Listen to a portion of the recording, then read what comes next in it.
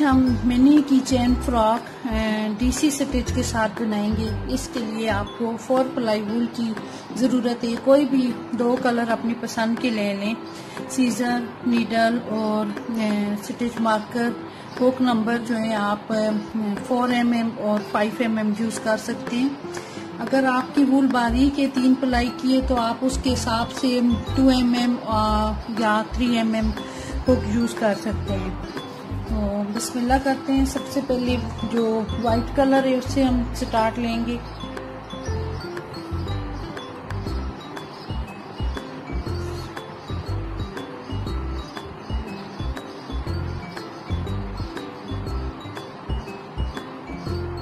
Slip नाट लगाइए।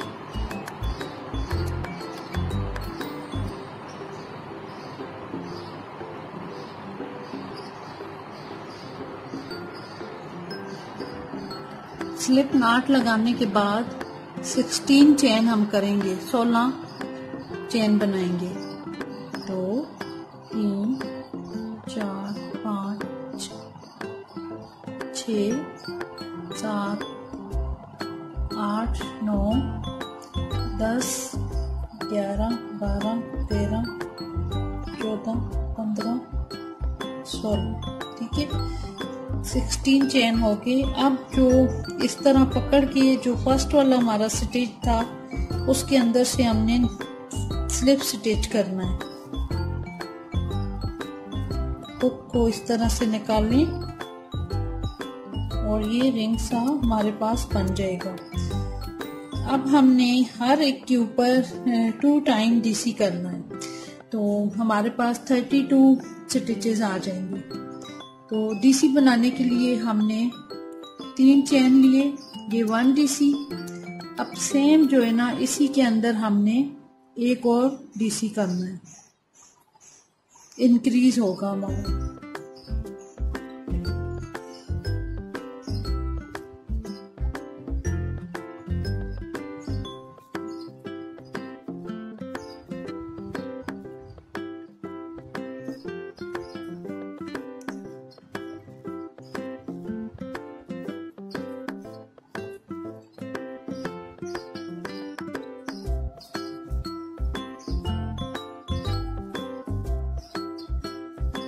हर chain के अंदर से हमने टू टाइम निकाल के दो डबल क्रेशे बनाने हैं। डबल क्रेशे करते हुए हमने ये राउंड कंप्लीट करना है। ये इंक्रीज हो रहा है। हर एक में हमने टू टाइम डीसी करना है।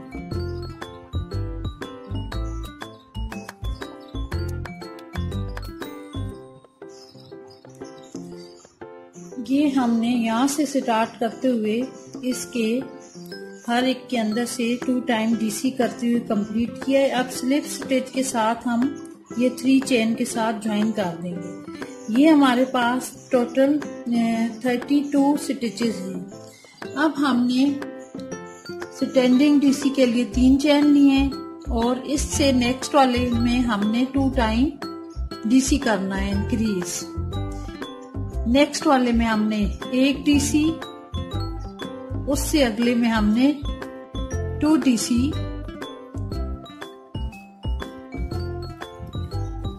वन डीसी और ये टू डीसी टोटल हमारे पास है ये 48 यानी के 48 स्टिचेस पूरे हो जाएँगे।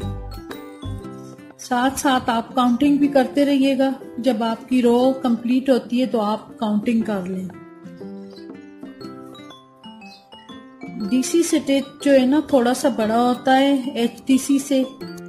एच की दो लाइनें और ये डीसी की एक लाइन बराबर होती है।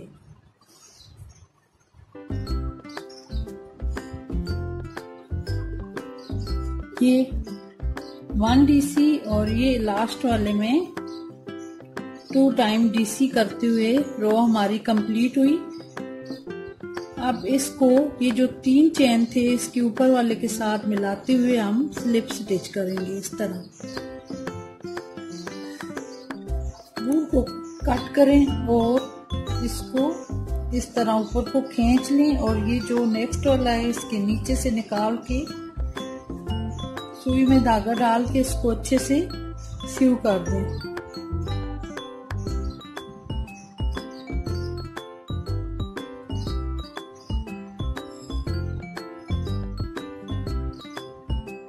इस तरह से इसको अच्छे से सीव करके थ्रेड को आप कट कर दें।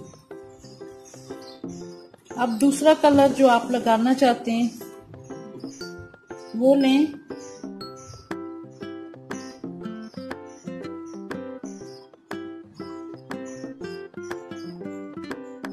देखें, ये हमारी जॉब रेडी है।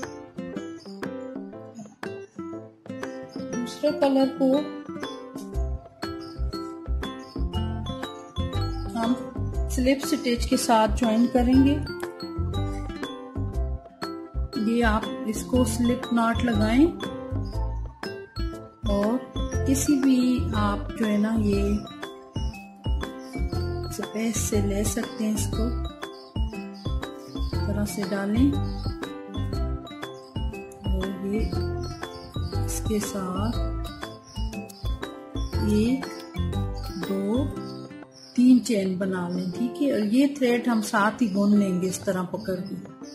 अब हर एक के अंदर हमने डीसी करते हुए 14 स्टिचेस कंप्लीट करने यानी कि 14 स्टिचेस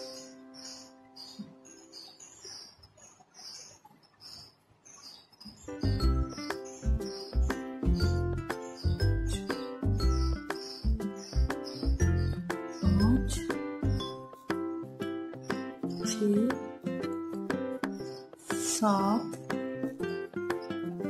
आठ नौ दस, ग्यारह,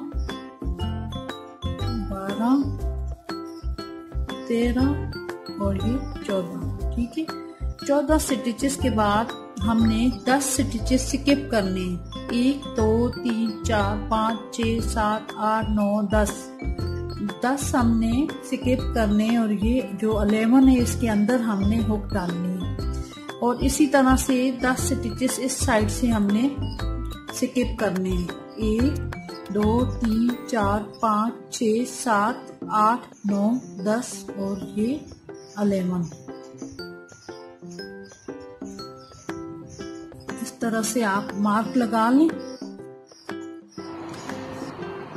इस तरह से बल दिया और ये स्टिचेस हमने काउंट किए ये दस स्किप करने और ये जहाँ पे हमने स्टिच मार्कर लगाया था, इसके अंदर हमने अटैच करना है डीसी करते हुए।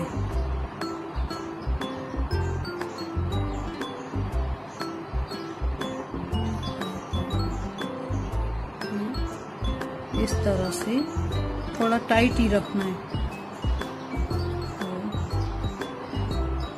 फिर अब मज़ीद हमने 14 डीसी करने इस साइड पे भी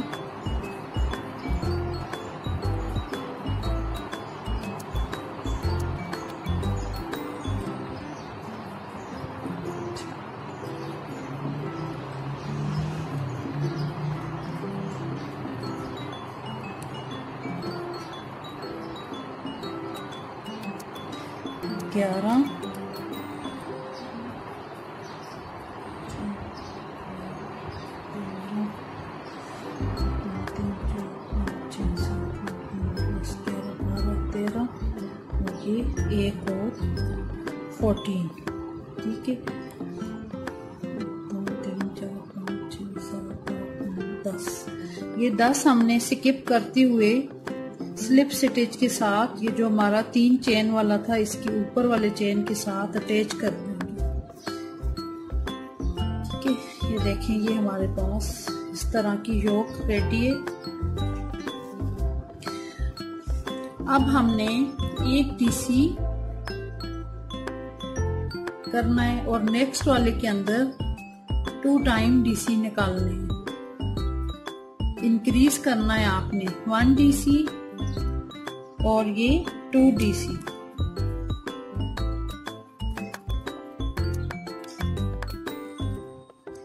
one DC two D C. ये करते हुए रो कंप्लीट करनी और आपके पास 48 स्टिचेस आ जाएँगे।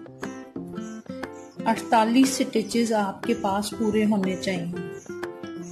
जब भी आपकी रो खत्म हो, आपने उसे काउंट करना है। इसी तरह वन डीसी और ये टू डीसी करते हुए इस फिराक का जो गेयर है, वो हमने बनाना है।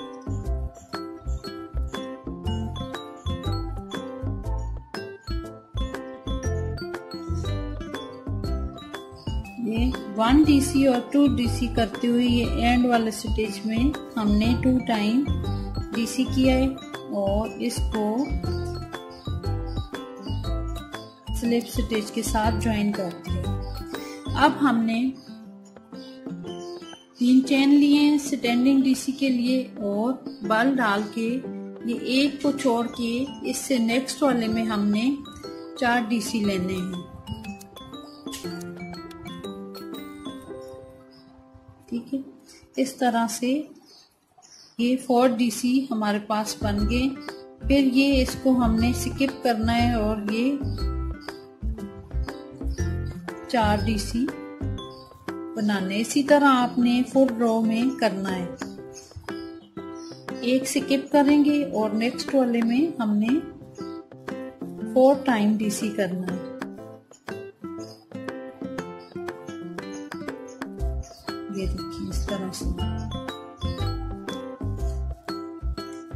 ये हमने एक स्किप और नेक्स्ट के अंदर फोर डीसी करते हुए रॉ कंप्लीट कर लिया। ये जो हमारे तीन चेन थे, इसके साथ हमने स्लिप स्लिप स्टिच से ज्वाइन कर देना है। थ्रेड को आप कट कर दें।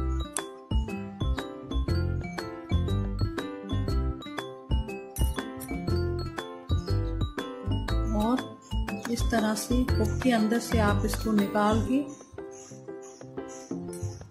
सुई में डालें।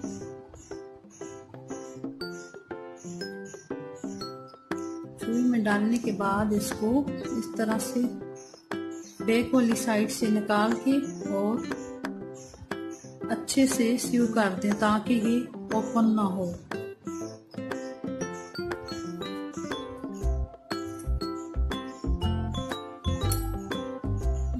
देखिए ये इस तरह का क्यूट सा फ्रॉक रेडी हो गया डीसी स्टिच के साथ। आप चाहें तो यहाँ कोई बीड्स लगा सकते हैं एम्ब्रॉयडरी कर सकते हैं, कोई इस तरह के फ्लावर्स लगा सकते हैं।